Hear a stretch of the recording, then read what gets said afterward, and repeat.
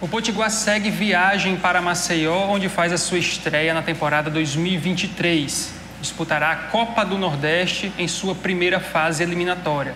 O jogo está previsto para quinta-feira, às 20 horas, no estádio Gerson Amaral, em Coruripe, no interior de Alagoas. O Potiguar sai de Mossoró, vai até Natal na manhã desta quarta-feira, de ônibus, depois segue em voo até Maceió, onde fica na cidade até o momento da partida.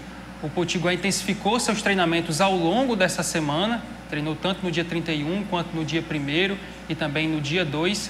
A equipe preparou ali um treinamento técnico-tático, algumas situações de jogo sob o comando do técnico Emanuel Sacramento.